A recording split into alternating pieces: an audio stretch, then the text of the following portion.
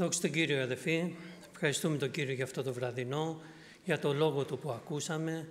Πράγματι και εμείς όπως το Ιησούς του Ναβίδ, έτσι και εμείς έχουμε αποφασίσει να ακολουθήσουμε τον Κύριο. Πολλές φορές μου έχουν πει άνθρωποι, ε, δεν μπορείς να πας με το σταυρό στο χέρι ή ακόμα πηγαίνεις στην εκκλησία, δεν έχεις βαρεθεί ακόμα μετά από τόσα χρόνια. Αδερφοί, όσο έχω βάλει τον Κύριο μπροστά, δεν έχω χάσει. Τόσα χρόνια μαζί με τον Κύριο δεν μου φτάνουν. Ευχαριστούμε τον Θεό. Πώς να βαρεθείς την Εκκλησία, πώς να βαρεθείς την παρουσία του Θεού, πώς να βαρεθείς το Πνεύμα του Άγιο, πώς να βαρεθείς το Λόγο του Θεού; Δεν γίνεται. Τα του κόσμου μπορείς άνετα να βαρεθείς. Μια, δυο, τρεις, πέντε, δέκα, εκατό, κάποια στιγμή τις βαριέσαι.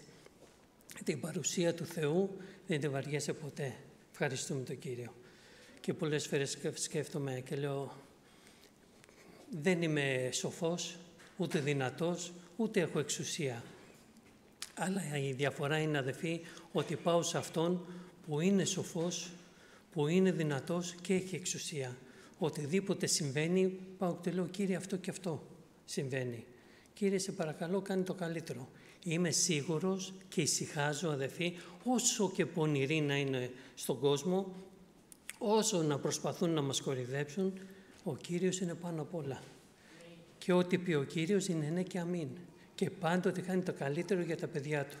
Ευχαριστούμε πάρα πολύ τον Κύριο για το λόγο του. Θα ήθελα αδελφοί να διαβάσουμε λίγα εδάφια από την 866 σελίδα κατά Μαθαίο Ευαγγέλιο, Ιώτα Θήτα κεφάλαιο και 16 εδάφιο. Σελίδα 866, Ιώτα Θήτα 16. Και ειδού προσεθών της είπε προς Αυτόν, «Δάσκαλε αγαθέ, τι καλό να πράξω για να έχω ζωή αιώνιον» Ο δε είπε προς Αυτόν, «Τι με λέγεις αγαθόν, ο δις αγαθός είμαι εις, ο Θεός. Αλλά εάν θέλεις να εισέθεις στη ζωή, φύλαξα τις εντολάς. Λέγει προς Αυτόν, πιάς. Και ο Ιησούς είπε, το μη φωνεύσεις, μη μοιχεύσεις, μη κλέψεις, μη ψευδοματηρήσεις. Τίμα τον πατέρα σου και τη μητέρα και θέλεις αγαπά το πλησίο σου ως εαυτόν. Λέγει προς αυτόν ο νεανίσκος, πάντα τα αυτά εφύλαξε εκ νεότητός μου. Τι μου λείπει έτη; Και είπε προς αυτόν ο Ιησούς, εάν θέλεις να είσαι τέλειος, είπαγε, πώλησον τα υπάρχοντά σου και δώσει ε, φτωχούς και θέλεις έχει θησαυρών εν ουρανό και ερθέ ακολούθημη. Ακούσατε δε ο νεανίσκος τον λόγο ενεχώρησε λυπούμενος, διότι είχε χτήματα πολλά. Και ο Ιησούς είπε προς τους μαθητές αυτού, αληθώς σας λέγω ότι δυσκόλως θέλει εισέθει πλούσιος στη βασιλεία των ουρανών. Και πάλι σας λέγω ευκολότερο είναι να περάσει καμήλους διατρυπήματος βελόνης παρά πλούσιος να εισέθει στη βασιλεία του Θεού. Ακούσαντας δε μαθητέ αυτού, εξεπλήτωτο σφόδρα, λέγοντες «Τις λοιπόν δύναται να σωθεί» Εμβλέψας δε ο Ιησούς είπε προς αυτούς «Παρανθρώπης τούτο αδύνατον είναι, παρά το Θεό όμως τα πάντα είναι δυνατά». Τότε αποκριθής ο Πέτρος είπε προς αυτόν «Ιδού, εμείς αφήκαμε πάντα και σε ακολουθήσαμε.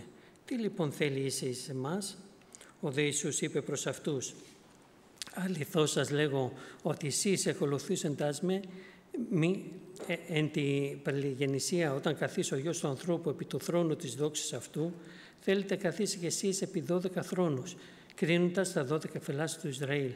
Και πας ως της αφήκεν, οικίας, οι αδελφούς, οι αδελφάς, η πατέρα, η μητέρα, η γυναίκα, η τέκνα, οι αγρούς, ένικεν το ονόματός μου, εκατοπλάσια θέλει λάβει και ζωή αιώνιον θέλει κρινομήσει.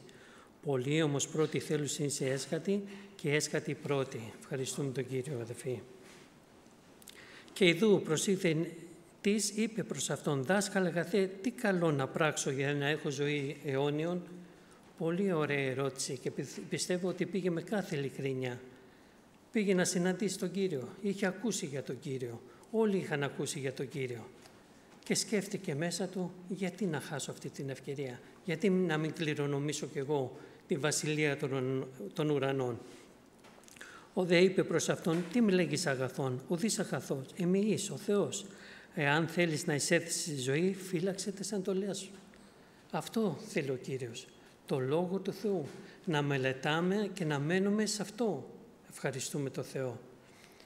Και λέγει προς αυτόν, ποιας, και ο Ιησούς είπε, το μη φωνεύσεις. Είναι ένας πλούσιος άνθρωπος, νέος, τα έχει όλα, για ποιο λόγο να φωνεύσει; Κανένα πρόβλημα. Μη μοιχεύσεις. Σίγουρα έχει μια όμορφη γυναίκα δίπλα του, ποιος ο λόγος να μοιχεύσει; Μη κλέψεις. Είναι πλούσιος. Ποιος ο λόγος να πάει να κλέψει; Δεν υπάρχει λόγος. Μη ψευδοματηρήσεις. Σίγουρα έχει καλές σχέσεις με όλους. Τίμα το πατέρα σου και τη μητέρα. Γιατί να μην τους τιμήσει; Τους, ε, του έχουν παρέχει, παρέχει τα πάντα σε αυτόν. Οπωσδήποτε τους τιμάει. Και θέλεις αγαπά το πλησίου σου ως αυτόν. Και σίγουρα έχει καλές σχέσεις με όλους. Είναι πάνω, έχει τους υπαλλήλους του, δουλεύουν στα χωράφια του. Δεν υπάρχει λόγος να μην έχει καλές σχέσεις. Λέγει προς αυτόν ο Ανέσκος, πάντα τα αυτά εφύλαξε νότος μου. Τι μου λείπει έτη, δεύτερη ωραία ερώτηση που κάνει. Όλα αυτά εγώ τα φύλαξα. Μήπως υπάρχει κάτι άλλο που να με εμποδίζει, Κύριε, να μπω στη Βασιλεία; Και σκέφτομαι, εγώ το ρωτάω αυτό. Κύριε, προσπαθώ να ακολουθήσω το λόγο σου.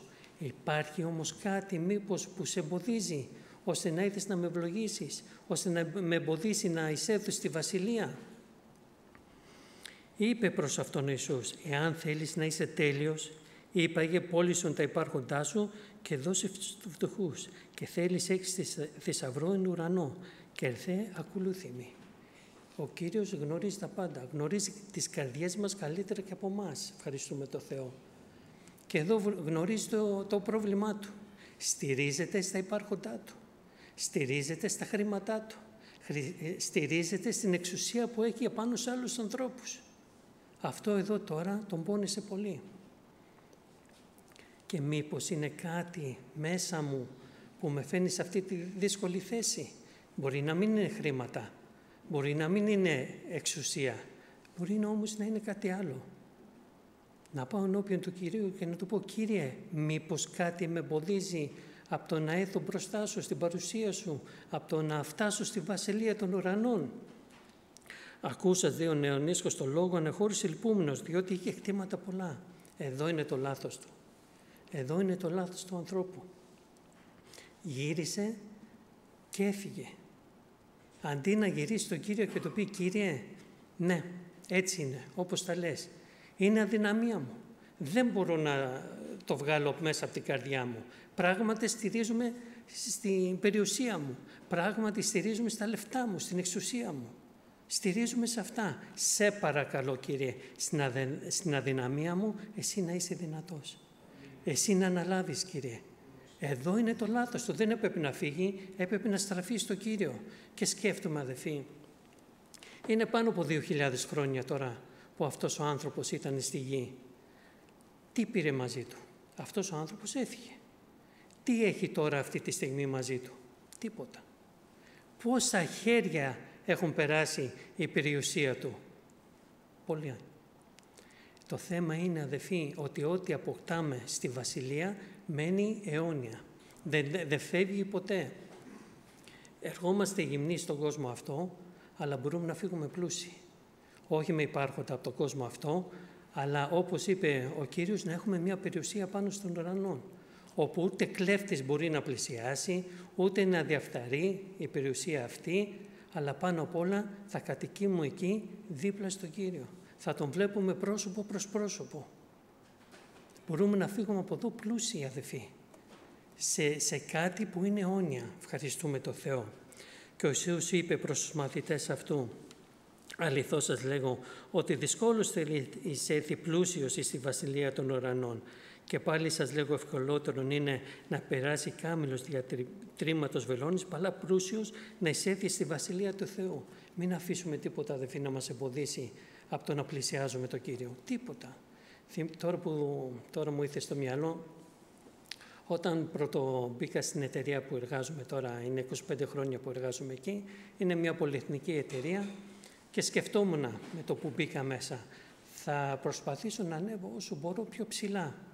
Θα προσπαθήσω να προχωρήσω μέσα στην εταιρεία. Ήμουνα καινούριος ακόμα μέσα στην εταιρεία και με πλησιάζει ένας συνάδελφος και μου λέει ε, Παναγιώτη, μη, μη κυνηγά θέσει. Στο μεταξύ τον είχα παρακολουθήσει και δεν είχε πιάσει ποτέ κανέναν άλλον καινούριο μες στην εταιρεία. Ήταν παλιός αυτός. Μου λέει: Μη κυνηγά τι θέσει. Μου κάνει από μόνος του, χωρίς να το έχω πει τίποτα. Και γιατί μου λέει: Συνέχεια θα πρέπει να κοιτάζει πίσω την πλάτη σου. Συνέχεια θα έχεις μέρημνα. Συνέχεια θα πρέπει να ε, δουλεύεις ώρες ατελείωτες. Καλύτερα σε ένα σημείο μέχρι εκεί που δεν θα σε ενοχλούν. Και, το, και σκέφτηκα μέσα μου και λέω πράγματι τι πάω να κάνω, πού πάω να μπλέξω; Θα φτάσω μέχρι ένα σημείο, μέχρι εκεί που δεν με ενοχλούν, που δεν κυνηγάνε τη θέση αυτή. Και πράγματι το έβαλα αυτό σκοπό και αυτό έκανα. Είμαι τώρα 25 χρόνια εκεί και βλέπω όλοι αυτοί που έχουν κυνηγήσει τις ψηλές θέσεις, όλοι φοβούνται. Όλοι τρέμουν το πλησίον πόσες φορές έχουν αλλάξει αυτές οι θέσεις. Και ευχαριστώ τον Κύριο γιατί δεν ήταν ο άνθρωπος, ο Κύριος ήρθε και μου μίλησε. Ακούσαντας δε οι μαθητές αυτού το σφόδρα λέγοντες «Τις λοιπόν δύναται να σωθεί».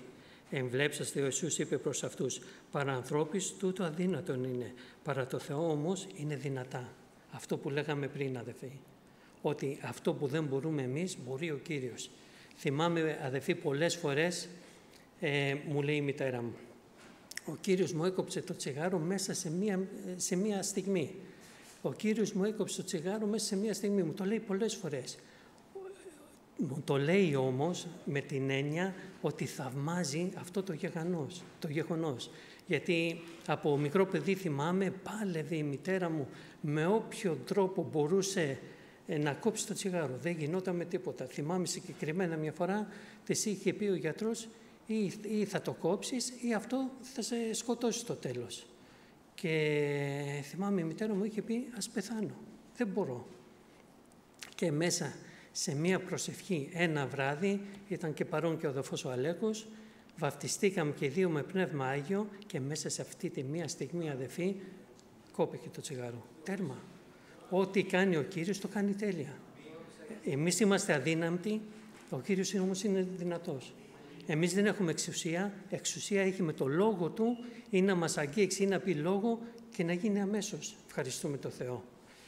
Και τώρα που το σκέφτομαι αδελφοί, πριν χρόνια πολλά ήταν μια αδελφή στα ναρκωτικά και ο πατέρας ήταν χρόνια στην εκκλησία και προσευχόταν για το παιδί, της, για, για το παιδί του. Και θυμάμαι ένα απόγευμα είχε έρθει, θυμάμαι τι κρατάγανε γιατί δεν μπορούσε να σταθεί. Και στο τέλος του κηρύγματος είχε έρθει μπροστά για να προσευχηθούν οι πρεσβύτεροι απάνω της και ε, πραγματικά εκείνο το βράδυ ελευθερώθηκε. Ποτέ πάλι δεν έκανε χρήση ναρκωτικών. Έπαιρνε ηρωίνη, δεν μπορούσε να το κόψει. Μέσα σε μία στιγμή ο Κύριος τη καθάρισε. Μετά είχε πάει στο νοσοκομείο για να κάνει εξετάσεις και βέβαια ο πατέρας ενημέρωσε εκεί το νοσοκομείο ότι έπαιρνε ναρκωτικά. Ρώτησαν μέχρι πότε, μέχρι λίγες μέρες πριν. Ε, λέει, να ξέρετε, θα φανεί στο αίμα. Κάνει εξετάσεις και λέει, κάτι λάθος κάνετε κύριε, λέει. Γιατί, λέει, δεν φαίνεται τίποτα στο αίμα της. Δεν, φαίνεται, και για να μην φαίνεται πρέπει να έχουν περάσει πολλούς μήνες. Ήτανε καθαρή, ευχαριστούμε τον Θεό. Και αυτή η αδεφή σήμερα έχει οικογένεια, είναι παντρεμένη με δύο παιδιά και δοξάζει και προχωράει μαζί με τον Κύριο. Τότε αποκριθής ο Πέτρος είπε προς αυτόν «Ιδού, εμείς αφήκαμε πάντα και σε ακολουθήσαμε. Τι λοιπόν θέλεις εσείς εμάς» Ο Δείσιος είπε προς αυτούς «Αληθώς σας λέγω ότι εσείς ακολουθήσαντάς με εν την Παλαινησία και όταν καθίσει ο Υιός του ανθρώπου επί του θρόνου της δόξης αυτού, θέλετε και καθίσει και εσείς επί τους 12 θρόνους κρίνοντας τους 12 φυλάς του Ισραήλ. Ο Κύριος έχει ετοιμάσει μεγαλεία για μας Το ξέρω, το λέω κάθε φορά, αδερφοί, αλλά είναι η αδυναμία μου. Στη 1100 σελίδα που μιλάει για τη Βασιλεία των Ουρανών. Αυτό μας περιμένει, αδερφοί. Ε, τι να σας πω, συνέχεια είναι το μυαλό μου εκεί. Το αγαπάω πάρα πολύ αυτό το κομμάτι. Αυτό είναι που μας περιμένει. Και εγώ και καταλαβαίνω μέσα μου ότι στην ουσία δεν μπορώ να φανταστώ τα μεγαλεία που μας περιμένουν. Το τι έχουμε να ζήσουμε. Αυτά εδώ στη γη δεν αξίζουν τίποτα, αδελφοί. Τίποτα. Δεν έχουν καμιά αξία.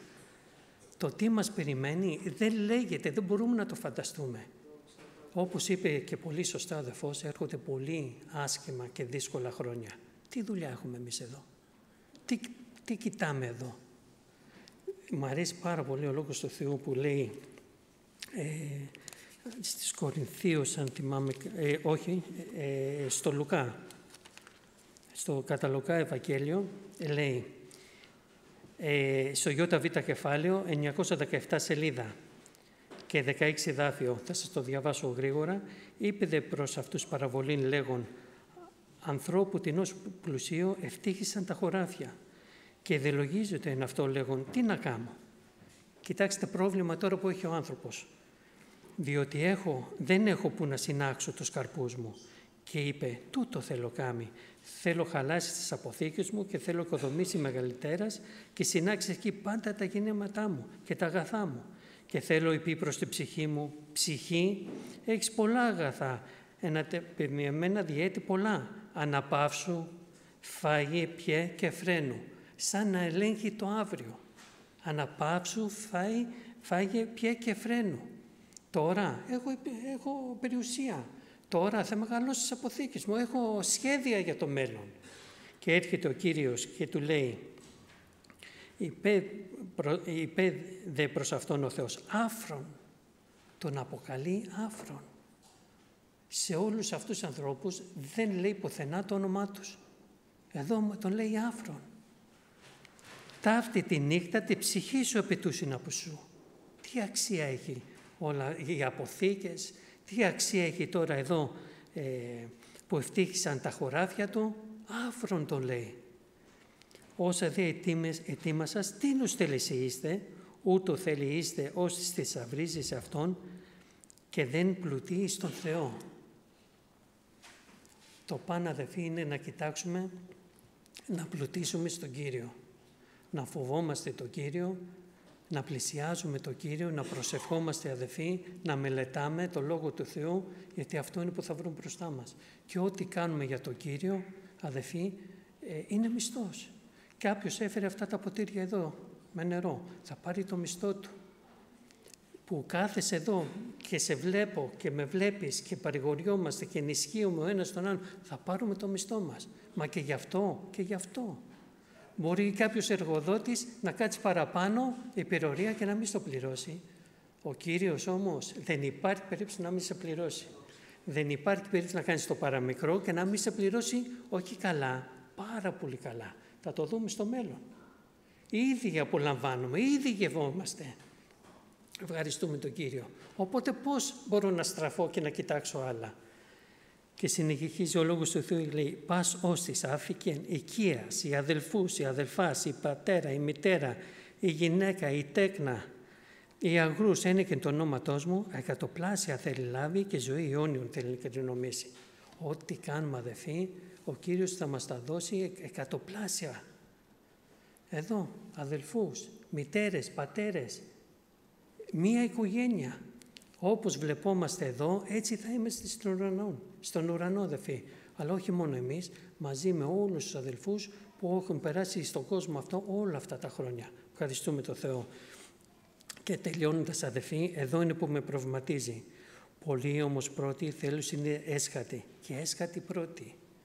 Δηλαδή με τα χρόνια χαλαρώνω, δηλαδή με τα χρόνια δεν είμαι ο ίδιος, φεύγει αυτή η δίψα. Γιατί, γιατί δεν προσέχω; Μου γίνεται κάπως συνήθεια ε, να προσευχηθώ, τώρα είμαι κουρασμένος. Ε, θα, κύριε θα προσευχηθώ αύριο.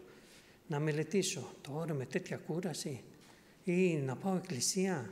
Ε, δεν πειράζει, θα το ακούσω στο κινητό, κάπου αλλού ή θα το ακούσω αύριο.